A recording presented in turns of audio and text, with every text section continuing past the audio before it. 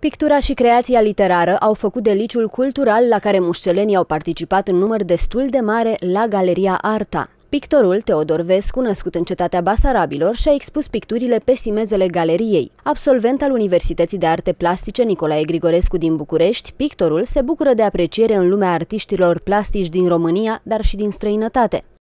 Arta lui Teodor Vescu s-a născut și a evoluat constant sub semnul armoniei al unei armonii care nu înseamnă doar o metaforă sau o expresie acoperitoare, menite să ascundă lipsa unor note certe de originalitate, ci care emană convingător din fiecare lucrare, fiind rezultatul unui profesionalism fără cusuri, al unui mod de a gândi anatomia imaginii spontane sau cu mecanica reordonatoare a hazardului, sintagme evazive și volatile destinate descrierii și justificării actului de creație cărora pictorul le contrapune analiza riguroasă a datului vizual și configurația artistică a acestuia după principiile îndelung supuse verificării practice ale geometriei, opticii și numai puțin logicii clasice.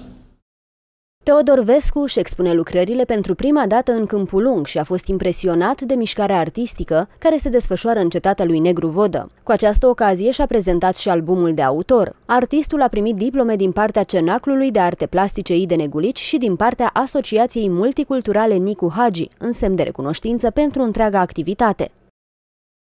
Și am venit cu mare drag și mă bucur că sunt aici. Uh, să știți că găsesc multe analogii și asemănări și chestii diferite între Câmpul Nu și Curtea de Argeș. Multe clădiri sunt asemănătoare, unele sunt diferite. Ceea ce am constatat sunt mai multe personalități culturale și artistice decât Curtea de Argeș. Și asta îmi pare rău.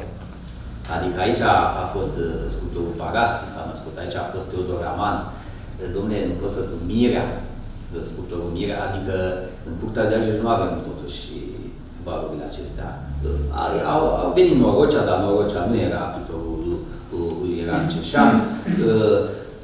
Sunt familia pictorului Ivănescu, care sunt argedei, sunt de pictori de biserici, dar valori de, de plan național, cum sunt aici în Câmpul Lung, sunt mai, sunt mai adică stau mai lăsim.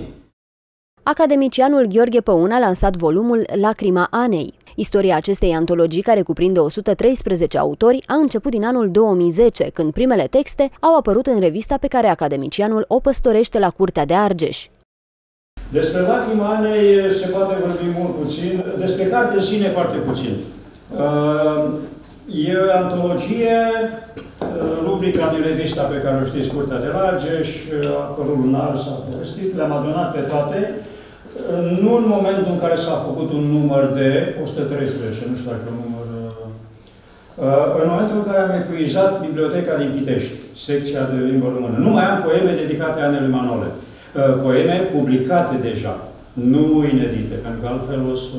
Poate să fie și un îndemn, scrieți, băieți, nu, nu mai scrieți. Nu inedite, întâi publicate într-un volum ca să am garanția că altcineva și-a uh, luat responsabilitatea girării Bun, am publicat și inedite, dar de Radu Cârneci, de...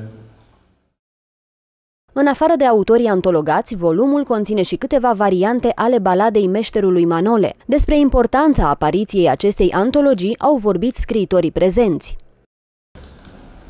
Am răsfoit-o sumar uh,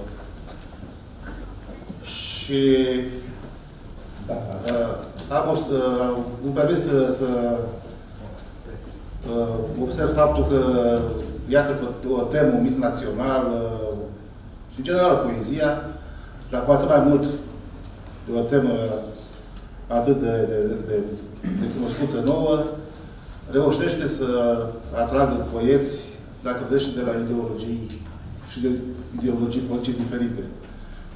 Începând de la Radu Gir și Ileana Mănăcioiu, până la Adrian Păunescu, Nicolae Dragoș, așa mai departe. Publicul mușcelean din Galeria Arta s-a bucurat de prezența a două personalități importante ale culturii din România și și-a bucurat privirea și sufletul cu pictura lui Teodor Vescu și cu modul prin care balada meșterului Manole este adusă în actualitate prin antologia academicianului Gheorghe Păun.